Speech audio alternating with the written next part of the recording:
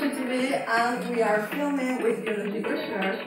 I am invited to have a facial to get ready for tonight red carpet with Natalie Portman and I am in the private spa of Majesty, one of the most exclusive places in all the world and I'm so happy to be here. I hardly believe that I have the chance to share this with you.